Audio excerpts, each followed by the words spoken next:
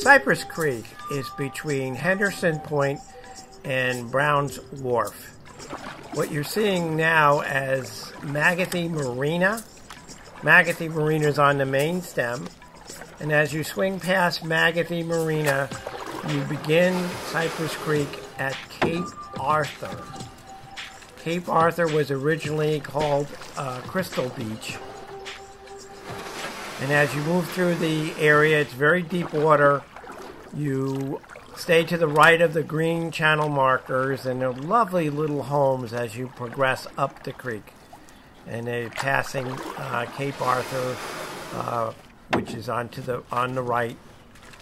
And on to the left here, you're passing Cypress Marina and Boatyard, which was built during the early 20s and, and 30s and continues to operate today.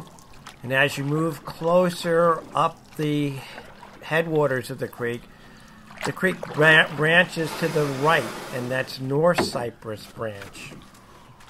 North Cypress Branch is a little more closed in than the main stem. In the distance here, you begin to see what was uh, an old uh, marina called uh, Captain Tom's which in the 1980s was changed to Skokel's Marina and continues to operate today. As you move up North Cypress Creek, you'll pass a number of uh, boathouses, one on the right, and in the distance, you'll begin to see the um, Quonset hut.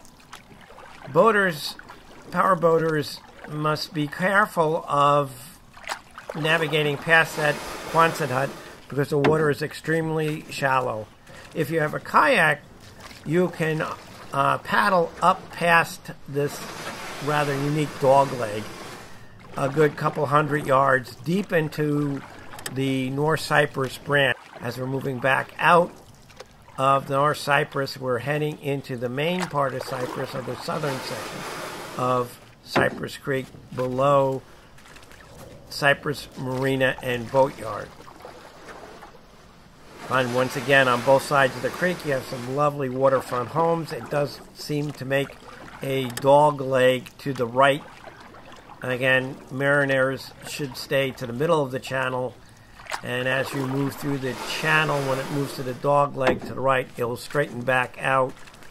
And you will begin to see, at this view here, you'll begin to see Ritchie Highway and um, the assisted living uh, facility uh, straight ahead.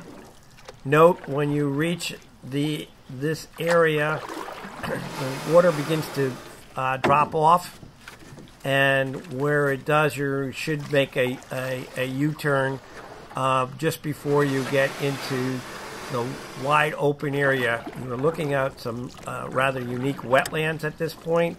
These wetlands go behind Route 2, behind Cathay Mazenot, and become the Cypress Bog.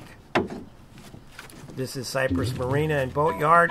Uh, they do a lot of yacht repairs. Um, highly recommend.